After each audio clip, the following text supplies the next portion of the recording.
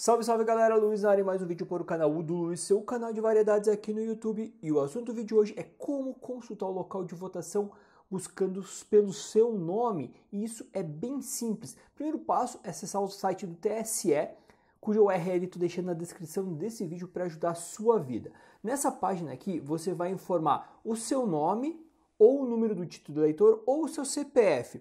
Então, geralmente CPF já resolve o problema. A data de nascimento, tá? E o nome da sua mãe e vai clicar aqui em consultar. Feito isso, vai aparecer a identificação aqui com o seu CPF, o seu nome completo, o seu domicílio eleitoral para as eleições gerais de 2022, primeiro turno aí, que acontece no dia 2 de outubro, bem importante, a zona, a sessão, o local, aqui o meu é Colégio Estadual Polivalente, o endereço, tá? Do colégio e o município. Então, assim não tem erro para você saber onde você vai votar aí nas eleições de 2022. Gostou do vídeo? Dá o um joinha, compartilha aí a informação que é muito importante para ajudar esse canal a crescer ainda mais, a gente trazer mais conteúdo, se motivar. E claro, tem alguma dúvida, mande seus comentários abaixo e participe. Abração pessoal, até o próximo vídeo e nos encontramos por aí. Fui!